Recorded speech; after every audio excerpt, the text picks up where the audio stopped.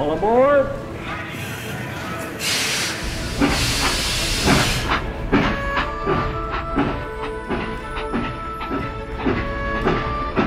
These are the stories of seven women born in the 19th century who worked hard to become scientists and published pioneering works in their fields.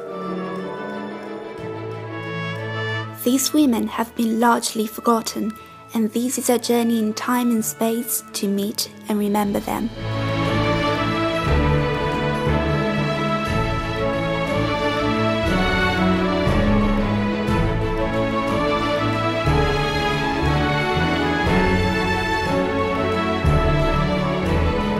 The journey begins in the second half of the 18th century in St. Petersburg. In the city of St. Petersburg, in the laboratory of the Department of Physiology directed by Ivan Romanovich Tarkhanov, a series of experiments in animal models highlighted the importance of sleeping. Maria Mikhailovna Korkunova was one of the first women who graduated in medicine in Russia and probably in the whole Europe. Her major contribution to neuroscience has been a very influential work on sleep deprivation. She traveled in many European countries to present the results of her studies, and she published articles and books in French, English, and German, in addition to Russian language. The Tsar Alexander III established for her a lifelong pension, and his son, Tsar Nikolai II, gave her a bonus of 10,000 rubles that was an enormous amount of money for their time. Maria Mikhailovna Korkunova was born in 1843. Her father, Mikhail Andreevich Korkunov, was a well known historian and archaeologist.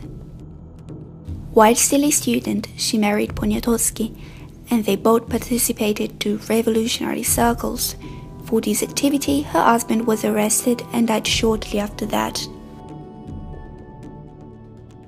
She remarried in 1865 to Vyacheslav Aksientevich Manasein, who will become later a prominent personality in the medical field in Russia. In 1870-71, Anasina Korkunova spent several months at the Polytechnic Institute in Vienna, working with Julius Wiesner. There, she studied the process of alcoholic fermentation and made the seminal discovery that fermentation is due to specific components that can be isolated from yeast cells. She called them unorganized enzymes. These results confirmed the chemical hypothesis of fermentation proposed by Claude Bernard and Justus Liebig rather than Louis Pasteur's physiological hypothesis. It took more than 25 years for the German chemist Eduard Buchner to replicate these results, and although he was aware of Manaseina Korkunova's work, he did not credit her. For this discovery, Buchner received the Nobel Prize in 1907, and Manaseina's name was completely forgotten. After coming back from Vienna, she started working with Ivan Romanovich Tarkhanov. She soon left Manassein for him, although she never legally divorced from her husband. In the physiology lab, Manaseina Korkunova conducted her investigation on sleep deprivation on puppies. The experiment consisted in forcing the puppies to stay completely awake, although they had access to food and care, the total sleep deprivation was fatal after 4-5 days, and the puppies could not be rescued. For comparison, dogs could be kept in complete starvation for 20-25 days and still be rescued by food administration after this time. This demonstrated that sleep was more critically necessary than food for survival. Minasinen's pioneering experiments had a huge impact on subsequent sleep studies in animal models and humans. Her book Sleep as One Third of Human Life, Its Physiology, Pathology, Hygiene, and Psychology, published in English in 1897, was considered the sleep encyclopedia at that time, translated in various languages and distributed in most of European countries. She enhanced the importance of sleep as a particular state of the brain activity rather than the absence of activity as it was commonly seen at the time. This was a remarkable intuition considering that the electron electroencephalogram did not exist yet. In her words, sleep is necessary as nutrition and reconstitution of the cerebral tissue. And she added that Byron was certainly right when he said that our life is composed of two distinct existences, for sleep is a world apart. Our life is twofold. Sleep has its own world, a boundary between the things misnamed, death and existence. Sleep has its own world. Around the 1890s, Manaseina Korkunova was invited to give public lectures in auditoriums in Solyani Gorodok, a neighborhood of St. Petersburg, on topics related to psychology, brain physiology, and especially pedagogy, and the attendance was always very high. She died in St. Petersburg on the 17th of March 1903.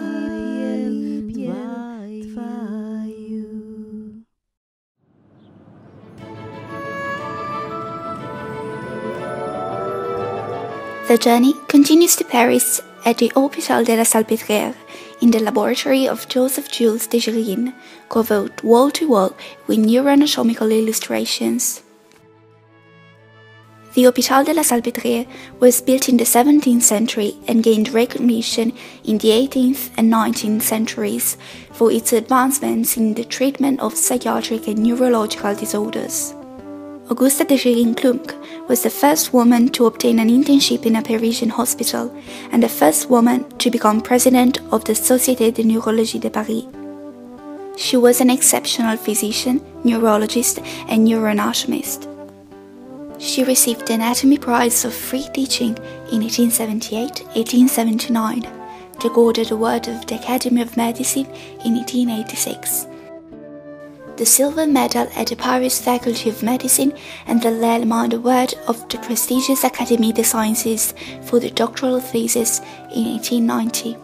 The first Legion of Honor for her scientific studies in 1913, and the second Legion of Honor with the rank of officer for her extensive work in treating wounded soldiers during the war in 1921. She was the first woman to become president of the French Society of Neurology in 1914.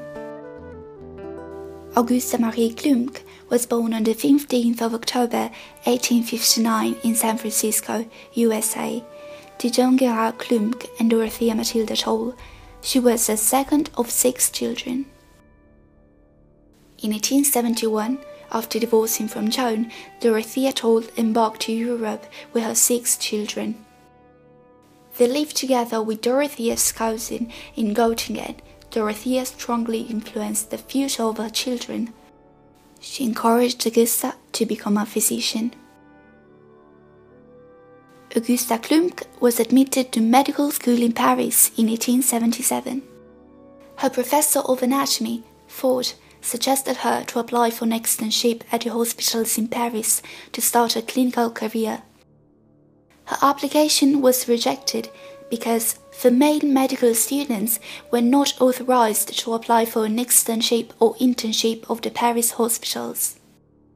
Thanks to the feminist campaigns, Klumpke became an extern at the L'Hôpital de Lourcine in 1882 with another woman, Blanche Edwards, a member of the French feminist movement in the experimental pathology laboratory directed by Professor Vulpian, she described for the first time a type of palsy due to the injury of the lower ribs of the brachial plexus that carries her name, Klumpke palsy. In 1888, she married the well-known neurologist Joseph Jules Dejerine. Augusta de Jérine Klumpke, together with her husband, wrote the two-volume book Anatomy of the Central Nervous System, a great classic of neurology and a considerable achievement in human neuroanatomy. In the book, both normal and pathological anatomy of the nervous system are described. There is a detailed histology of brains sliced into horizontal, parasagittal, coronal, and oblique sections. In 1891, Auguste and Joseph de had a daughter, Yvonne, they also became a well-known neurologist. In July 1908, at the Société de Neurologie of Paris, a three-day scientific duel took place between Jules Dejerine and Pierre-Marie, Charcot's pupil. Dejerine advocated a classical and systematic classification of aphasia. Marie claimed that there was only one type of aphasia, a posterior aphasia. Augusta Dejerine Klumpke demonstrated that the Marie assumptions were wrong. Thanks to her lesson of anatomy at the Aphasia Congress in 1910, Dejerine got the position of Chair of Clinical Neurology at the Salpêtrière Hospital. Dejerine Klumpke continued to work as a scientist and as a physician. During World War I, she worked at the Salpêtrière and later Les Invalides a military hospital where wounded soldiers with spinal cord injuries were treated. She created a vocational rehabilitation center near Fontainebleau. She observed in the patients a condition which she called paraosteoarthropathy that consists in the growth of the ectopic bone tissue in the injured soft tissues around the joints. This condition, now known as heterotopic ossification, often limits the patient's rehabilitation. Augusta Dejerine Klumpke died on the 5th of November 1927 and was buried next to her husband in Paris at the Père Lachaise churchyard. In 2016, the collection of the Dejerine Foundation that Augusta Dejerine Klumpke inaugurated after her husband's death has been moved to the basement of Tissot University and is no longer open to the public. We hope that this archive will soon be accessible to everyone, thus continuing to inspire future neuroscientists.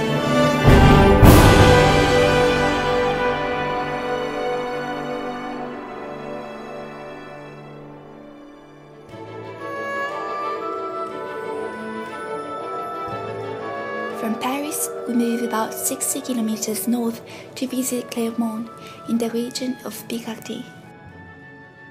At the asylum for mentally ill, the place she called the penal colony for psychiatrists, Constance Pascal had plans to reform the institutional medicine. She was the first psychiatrist woman in France. Her huge contribution to psychiatry is largely forgotten. She prohibited corporal punishment and straitjackets for mentally ills she ensured clean dormitories and she was interested in educating children with severe learning difficulties. Costanza Pascal was born on the 22nd of August 1877 in Pitești, in the province of Wallachia, Romania. Her father, Ion Pascal, was a landowner. Her brother Trajan was encouraged to pursue a military career, but Costanza was not allowed to continue her studies. After the death of her father in 1891, she obtained from her family the permission to pursue a professional qualification. In 1897, she moved to Paris to start her medical training with minimal financial support. In 1903, Costanza Pascal and Madeleine Pelletier were the first two women to be accepted as asylum interns.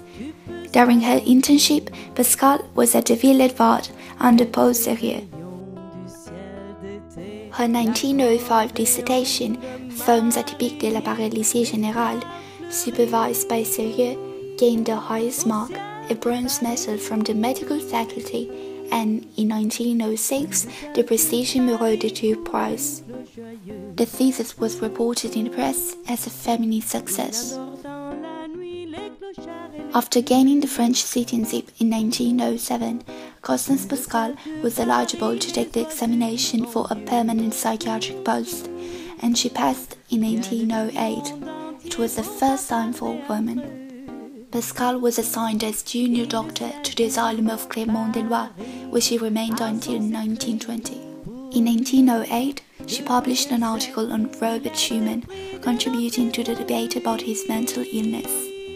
Schumann suffered too distinct mental disorders, but his musical genius was the result of perfect mental functioning, affirming that his genius emerges not because of a mental disability, but in spite of it. Pascal opposed Delambrosa's theory of the mad genius. In 1911, she published an analytical summation of previously published research on dementia precox from nosology and organic basis to social aspects.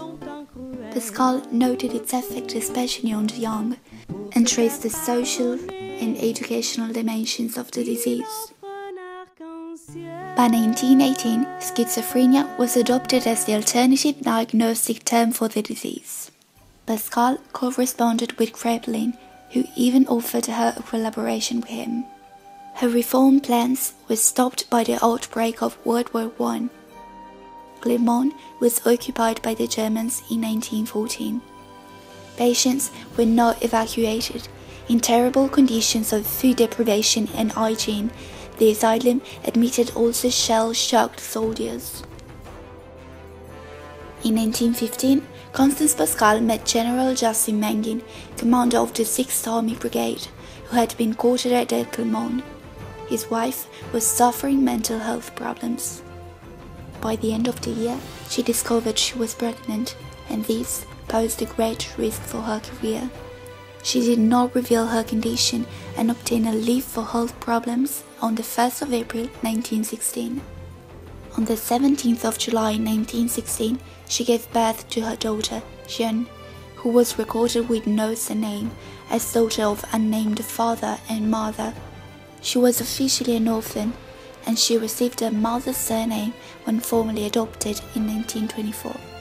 After one month, Pascal returned to Clermont, but she soon arranged a temporary transfer to a section of the Charenton Asylum on the outskirts of Paris. Here, she fostered a daughter with the help of a friend John Stryker and the General Mangin.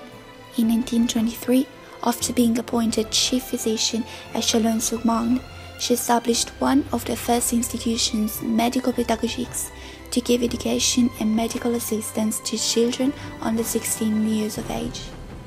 In 1928, Constance Pascal was diagnosed with breast cancer and she underwent a mastectomy but she was not free from recurrence from then on. She died of cancer on the 21st of December 1937 at Maison Blanche with medical attendants and her daughter being present. She had asked for no commemoration in the psychiatric press. In all of her life, she maintained a strong separation between professional and private worlds. To achieve her professional goals required exceptional inner strength and courage.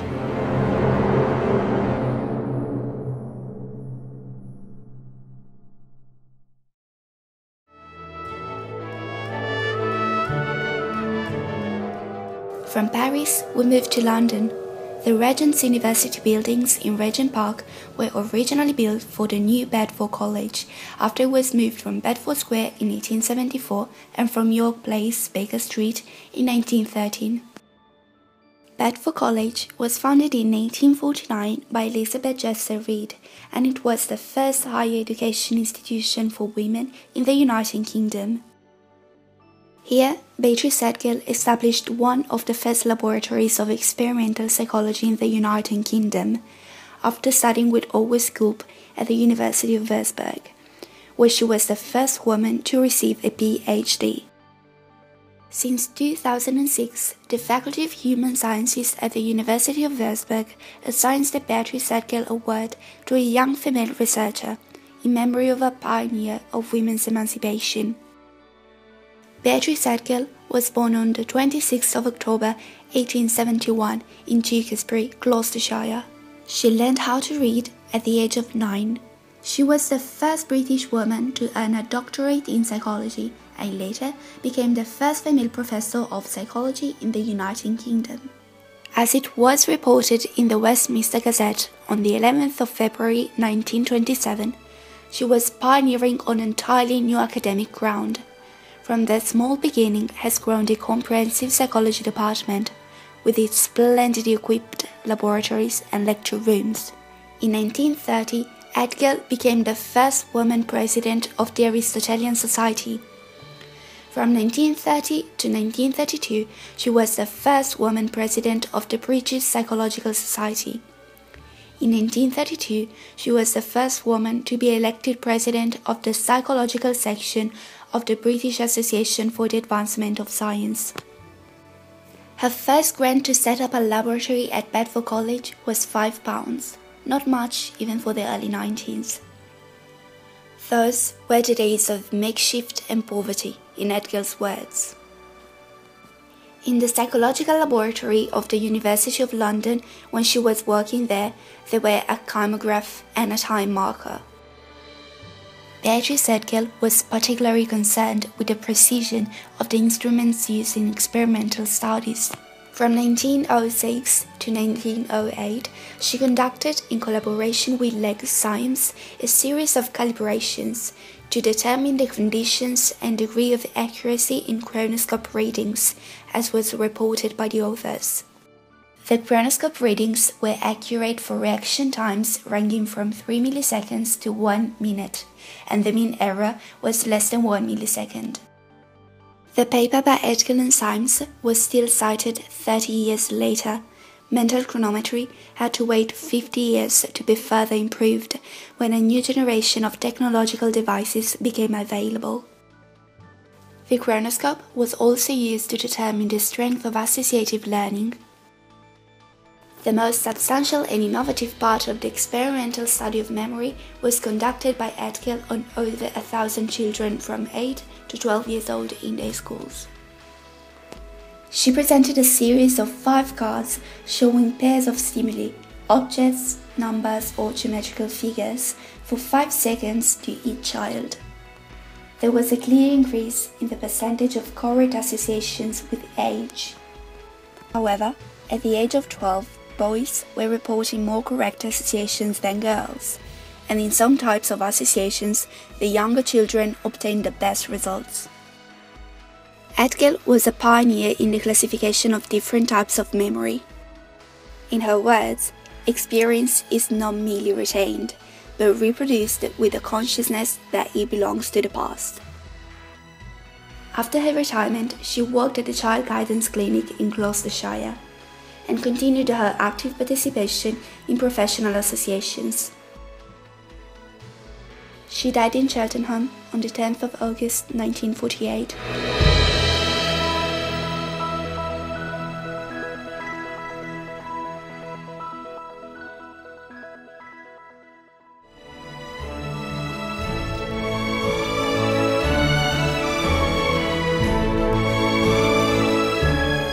We arrive in Berlin in the laboratory for the anatomical study of the human brain established by Cecile and her husband Oscar Vogt, where they used the most advanced techniques of the time in histology specimens preparation. The neurobiological laboratory was at the beginning a private institution not involved in university teaching. From 1914, it was expanded to include the Kaiser Wilhelm Institute for Brain Research that will later become the Max Planck Institute for Brain Research. Cecil Vogt's work on morphology of the nervous system contributed to a new understanding about the interaction of different regions of the brain. In 1924, she became co-editor of the German Journal for Psychology and Neurology. In 1932, she was elected into the German Academy of Sciences Leopoldina-Halle, the highest academic distinction given by an institution in Germany. In 1950, she was awarded with the First Class National Prize of East Germany and became a member of the German Academy of Sciences at Berlin. Augustine Marie Cécile Mugnier was born in Annecy, France, in 1875. Parents never legally married, and she didn't know it until 1933, when the National Socialists requested her to prove her Aryan descent, and she was unable to provide a birth certificate. She began to study medicine in Paris at the age of 18. She was one of the first females admitted. The French neurologist Pierre Marie offered her to work in his research team at the Bicêtre Hospital. There, she met her future husband Oscar Vogt, a German scientist that was spending in Paris a period of time in the laboratory of Augusta and Jules Dejerine. Mugnier Vogt, before meeting Oscar, gave birth to a girl, Claire, which Oscar adopted after the marriage. They had two more daughters, Marthe and Marguerite, both of whom became successful scientists. Mugnier Vogt started her doctorate in Paris, but then she moved to Berlin after getting married. There, she completed her work and earned a doctorate degree in 1900 for a dissertation in neuroanatomy. The proportion of women pursuing doctorates in medicine at the time was still only 6%. Thirty years later, women were first admitted to medical studies. Her doctoral work was aimed to study the myelination in the cerebral hemispheres. She compared the brain myelination at early developmental age in different mammals and concluded that the myelination process appeared to be very similar in all the studied animals, in contrast with the dominant opinion that the human brain was fundamentally different from the animal one. In Berlin, Cécile Mugnier-Vogt started to use the cortical electrical stimulation among very few other scientists in Europe, including Lord Sherrington in the UK. In her first paper on the myeloarchitecture of the thalamus, she identified several nuclei of the thalamus and their connections. This was a groundbreaking work for the modern understanding of the physiology of the thalamus. Consistently with her interest in the functional correlates of neuroanatomical substrates, she used to correlate the patient's clinical diagnosis with their neuropathological findings. She focused on the lesions of the as a cause of pseudobulbar palsy, and in some cases, she examined brains belonging to members of the same family who died with this condition. This allowed her to make some assumptions on hereditary diseases that were very innovative and visionary for the time. Although Cécile Mugnier-Vogt was greatly contributing to the scientific advancements in the center directed by her husband, it was only between the years 1919 and 1937 that she held a formal paid position as a scientist at the Kaiser Wilhelm Institute. Cécile and Oskar Vogt worked with Korbinian Brodmann in defining many such architectonic subdivisions of mammalian and human brain. The relationship between Brodmann and de Vogts was compromised after they published the first results on electrical excitability of cortical regions in 1907 without listing him as a co-author. Their approach to psychiatric disease was quite ahead of time. They believed that each psychiatric disease had a precise anatomical localization, meaning that it had biological basis, although not known yet. According to this idea, they became quite early very critical on the Freud's theories of psychoanalysis that were very in vogue at the time. The Vogts were very liberal, pacifist, and truly believed that science had to be cosmopolitan. They always hired their collaborators based on their capability rather than their nationality or religion despite the continuous threats by the National Socialists and false accusation by other scientists close to the new political establishment. After massive assaults from the National Socialists in the year after 1933, during which they were receiving threatening inspections and accusations, Cecilia and Oscar left the institute in Berlin. From 1937, they continued their work at a privately financed Institute for Brain Research and General Biology at Neustadt near Freiburg in the Black Forest. The research institute was considerably smaller and with fewer resources than the institute in Berlin, but they managed to continue researches and host international scientists. After Oscar's death in 1959, Cecile went to live with her daughter Marthe in Cambridge, England, and she died there in 1962.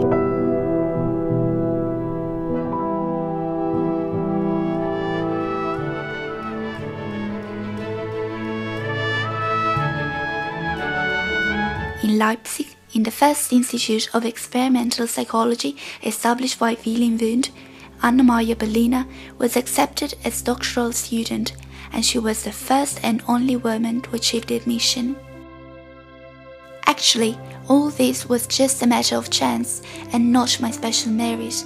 But thus, I became the first and I think the only woman who took her PhD under Wundt. The topic of her doctoral thesis was the judgment of objectivity and subjectivity of visual sensations. Mary Calkins cited Anna Berliner's experimental study as a suggestion of the distinction between perception and imagination. Anna Maria Berliner published her research in three different languages such as German, English, and Japanese, and she made distinguished contributions to experimental psychology and psychology of advertising.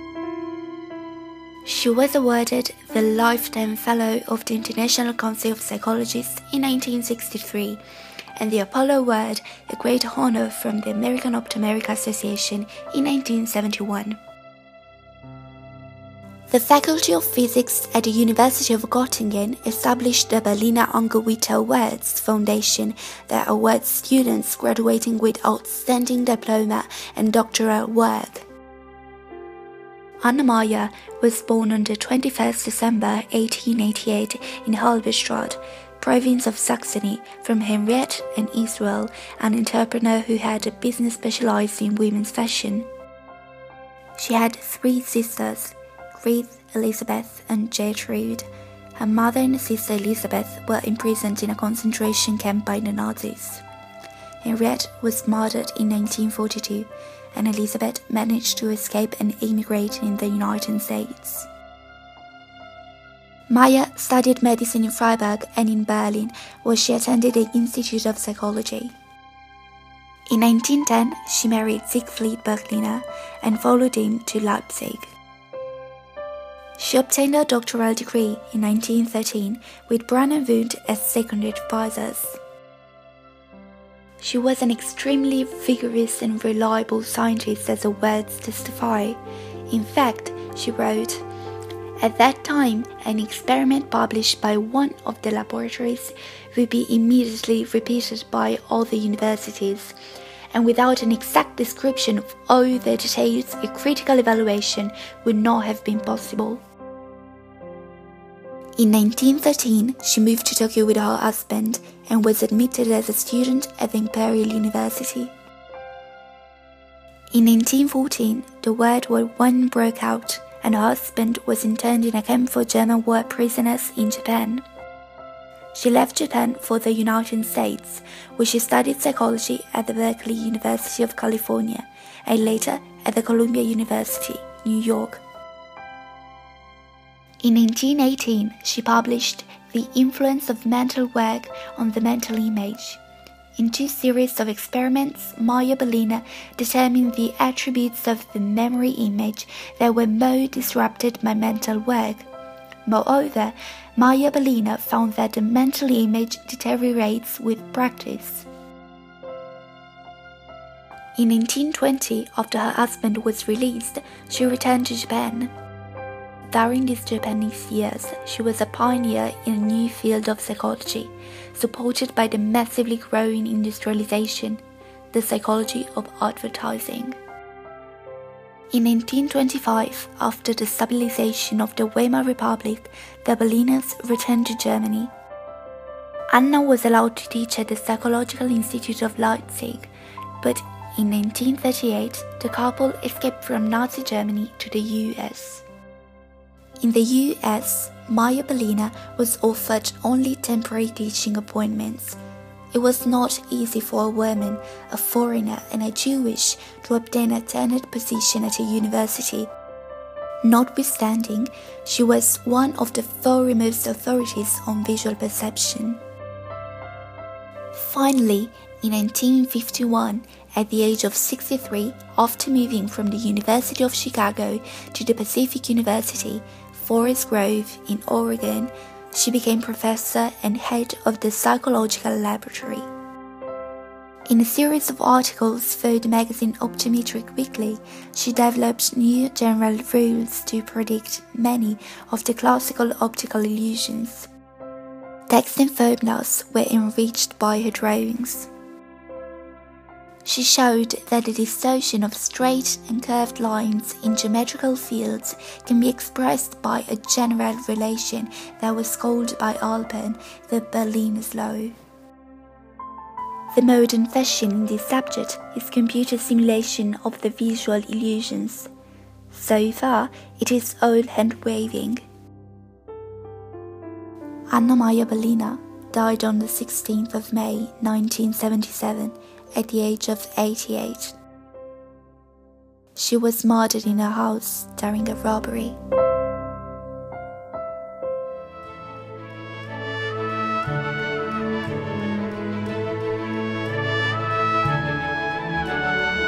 We leave Leipzig and make our way to the last station of our trip, Padua.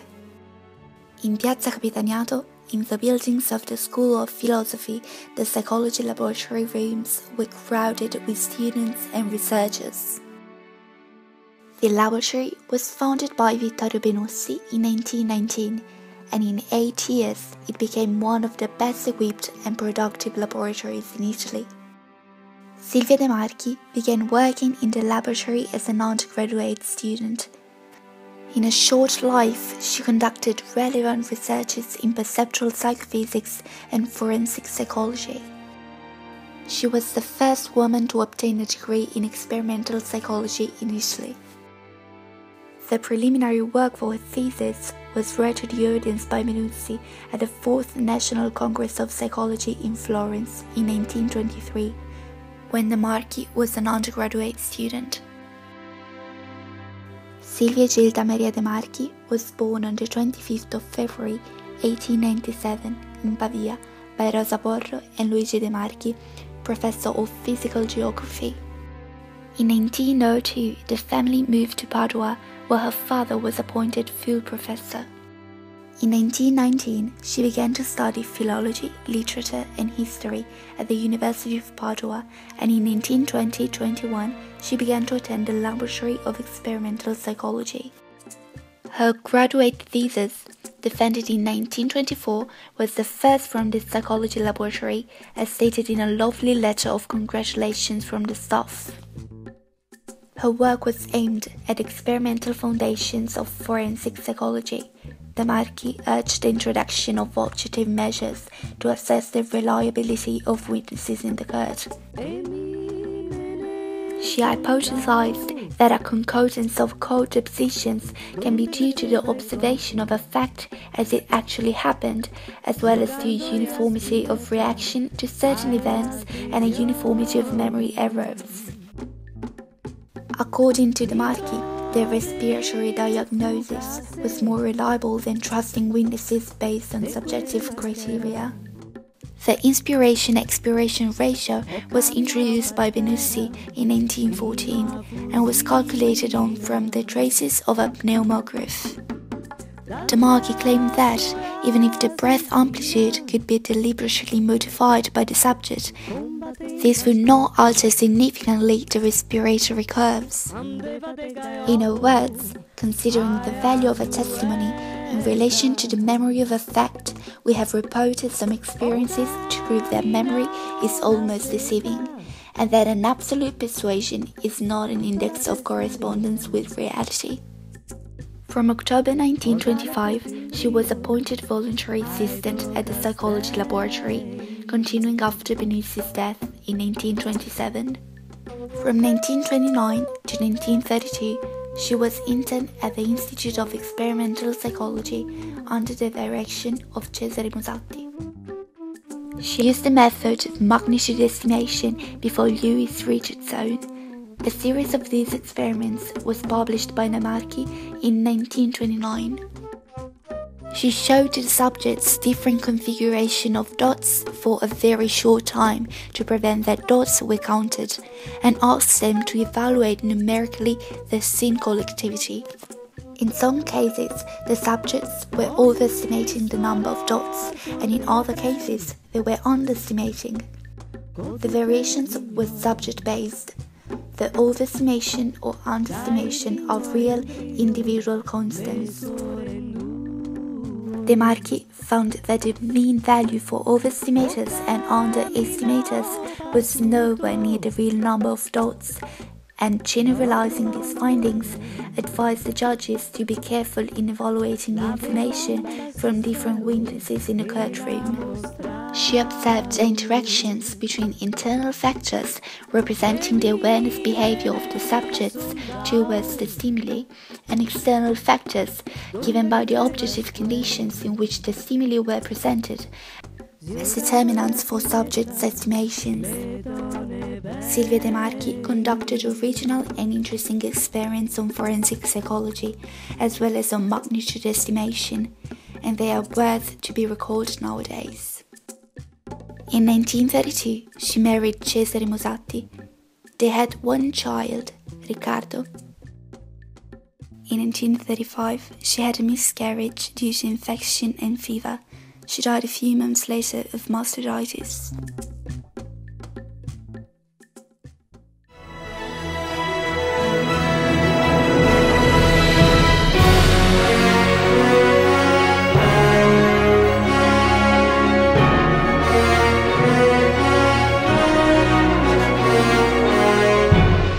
These are the stories of seven women born in the 19th century who worked hard to become scientists and published pioneering works in their fields.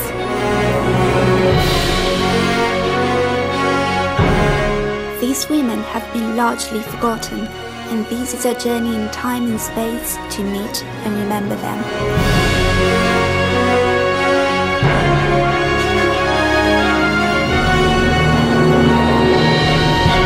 It's time to get in.